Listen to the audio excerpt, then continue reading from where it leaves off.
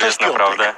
To jest y, strzelec dziewięciu bramek w Serie A. Miły panie, chcę to, chcę to wyprostować.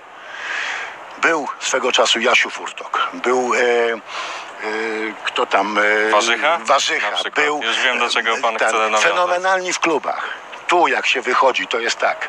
Inna koszulka, inna No, no piłka, tak, inna no tak, trawa, no tak. inne boisko. Oczywiście, to I trzeba sprawdzić. I wielokrotnie było, że piłkarze najlepsi w kraju w rozgrywkach nie grają w reprezentacji. Po prostu Zgadzam się. Nie, wol, nie wolno tego robić i dla mnie to był sabotaż, wystawienie to dwóch dziewiątek. Tak, wystawienie dwóch dziewiątek.